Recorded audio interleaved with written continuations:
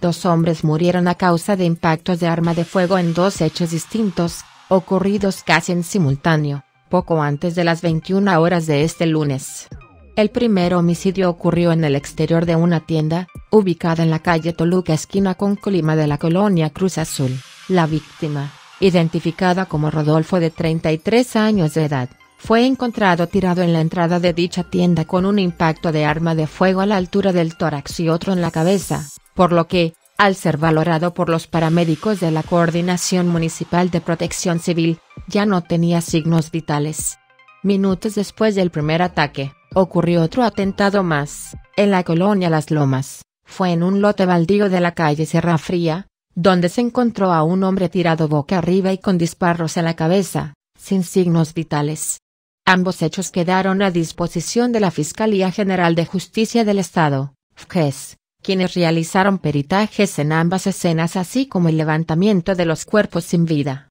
Cabe destacar que diversas corporaciones de seguridad implementaron un operativo en los alrededores de las colonias donde ocurrieron los homicidios, así como en la vialidad tránsito pesado, debido a un reporte anónimo al número de emergencia sobre varias camionetas, de las que se desconoce marca y modelo, tripuladas por personas fuertemente armadas, sin que hasta el momento se tenga el paradero de este supuesto convoy de civiles armados.